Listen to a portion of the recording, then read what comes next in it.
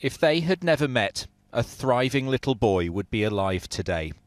The words of Arthur Labinjo Hughes' grandmother as a judge jailed what he called a pitiless father and his calculating girlfriend. He said Emma Tustin and Thomas Hughes had relished making Arthur suffer. He's banged himself the radiator, he's hit me, he's kicked me. Repeatedly lying about the campaign of torture and violence they inflicted on this once contented six year old boy.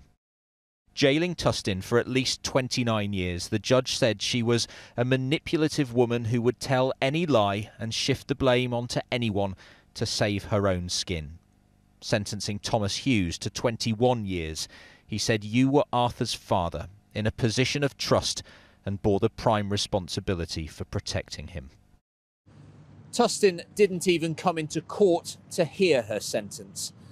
The judge said the pair of them had subjected Arthur to unimaginable suffering, behaviour that was often spiteful and at times sadistic. Videos shown to the jury were of a frail, thin child who could barely stand after being beaten, starved, and poisoned with salt in the last three months of his life. In a victim impact statement to the court, his paternal grandmother Joanne Hughes today claimed he was failed by the authorities after she'd sent social workers a photograph showing bruises on Arthur's back two months before he died. Tonight, the Prime Minister said he's glad justice has been done, but that tough sentences are no consolation. What we've got to make sure now is that we learn the lessons about that case. We look at exactly uh, what happened, uh, what else could have been done to protect that child. And it, it is early days, but I can tell you this we will leave absolutely no stone unturned to find out exactly what went wrong in that appalling case. But this senior Conservative MP is concerned the wider system is still letting children down.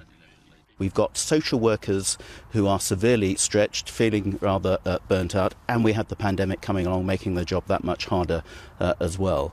There's a combination of reasons behind this, uh, uh, this, this case, but too often it's the same old reasons reheated, and we've really got to tackle that. In her statement to the court, Arthur's mother revealed his body still lies in a mortuary because the families involved can't agree on his burial. Another distressing detail in the relentless tragedy of this poor little boy.